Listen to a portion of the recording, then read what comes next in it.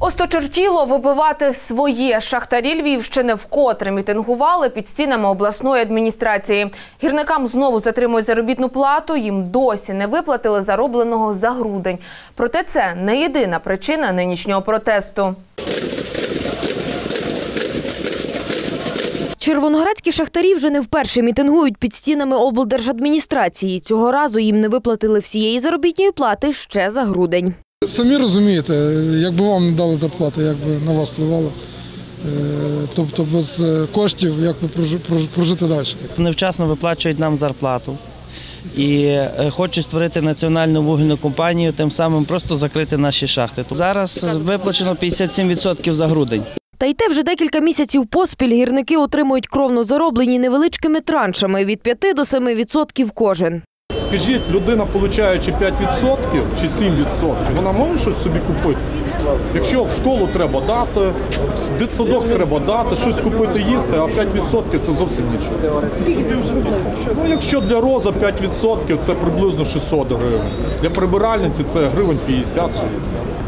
Проте це не єдина причина пікету. Нині в Міністерстві енергетично-паливного комплексу планують створити єдине національне гірниче підприємство. Червоноградські шахтарі переконані, це знищить вугільну промисловість на Львівщині. Якщо шахта не видобуває вугілля з великою золою, вона на себе не заробляє, то при цій національній вугільній компанії нам прийдеться що зробити? Закрити цю шахту. І в місті Червонограді от таких шахт, напевно, буде чотири. Але вони з кожним разом будуть, там, наприклад, одна може прожити ще два роки, там три роки, чотири, так приблизно я говорю. І вони будуть закриті. Скажіть, куди 12 тисяч чоловік тоді? З мітингарями погоджується і Володимир Гірняк.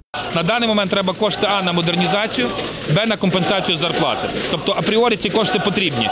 І на даний момент в них виплачена частина зарплати за грудень. Тобто вже є заборгованість два місяці. Друга річ, з точки зору цієї вертикальної кампанії національної створеної, аналогічно є позиція адміністрації, є позиція, скажімо, наша, що це абсолютно не на часі, це неправильно.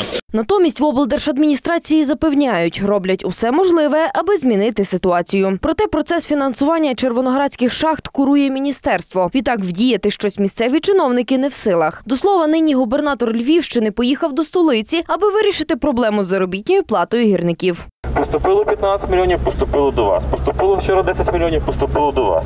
І якщо 1 лютого ви говорили про 30%, сьогодні ми говоримо про 57% виплати заробітної плати.